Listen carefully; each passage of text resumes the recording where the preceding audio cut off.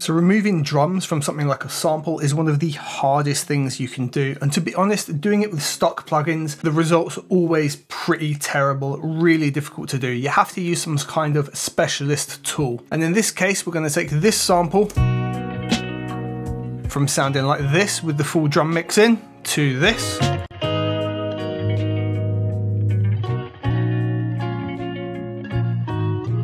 And we're gonna do that using Ozone 11. So let me show you how we would set this up on Ozone 11. We've just got a blank sample right here.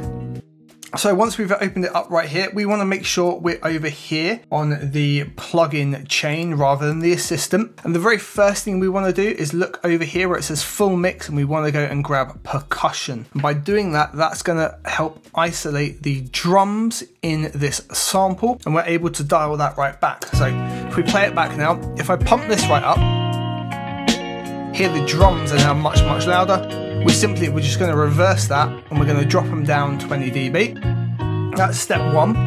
But you can hear there's still kind of a bit of the drums in there. And what we can do to really get rid of them is add in an EQ here. And we're gonna do a kind of EQ that you would never ever do in reality, but we wanna put a point here and a point here. And we're gonna switch both of these to their respective flats. So we're gonna go flat high pass, we're gonna go flat low pass. We want a nice harsh wall and we're actually, we're gonna cross them past each other like that. I found crossing them past each other higher up in the frequency spectrum is better than lower down. Otherwise we still get some kind of like crossover low end, but now the drums are gonna be completely gone.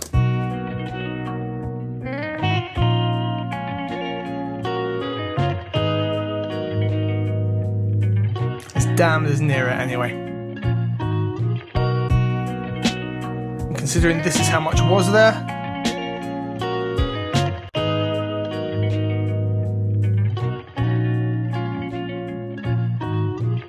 How quick and easy is that? If the processing of having ozone in there is a little bit too heavy, what you can do is pop Edison in just below ozone on your mixer track. Hit record on Edison and play your sample through like so.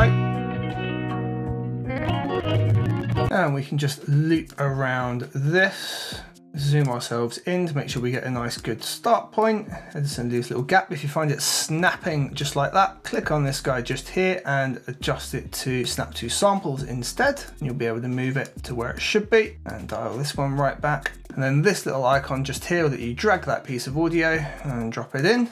And we'll just give it a little tidy up. And there you go. Now we've got a rendered out audio version. So we can take ozone off and not have to worry about any of the processing. I really hope that's helpful for you and I look forward to seeing you in future tutorials, of which you can find hundreds more on the screen right now.